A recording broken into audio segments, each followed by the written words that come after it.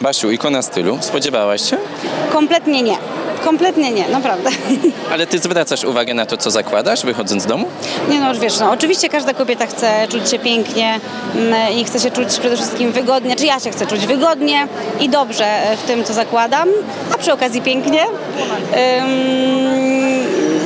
No i ważne jest to, żeby dobrze leżało i, i no nie wiem, co jeszcze.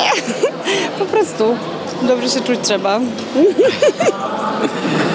Tak, to ważne. No. Y, Ty podziękowałaś tak naprawdę też całej swojej ekipie, bo to tak ludzie obserwują też na Instagramie, komentują Basiu, piękna stylizacja i tak dalej, ale to też często jest zasługa stylistów, prawda?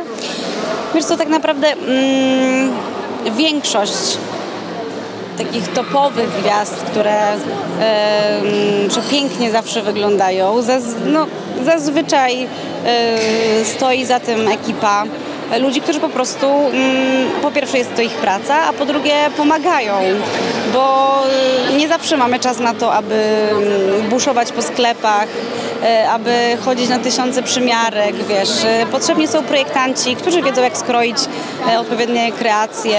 Potrzebna jest bardzo dobra make-upistka, aby, aby umalować ładnie. No, ja jestem wdzięczna wszystkim, którzy, którzy mi w tym pomagają. Owszem, uwielbiam się sama e, malować, e, też e, ubierać, ale robię to na co dzień. Ja na wyjścia już ostatnio rzeczywiście częściej korzystam z tej wspaniałej pomocy.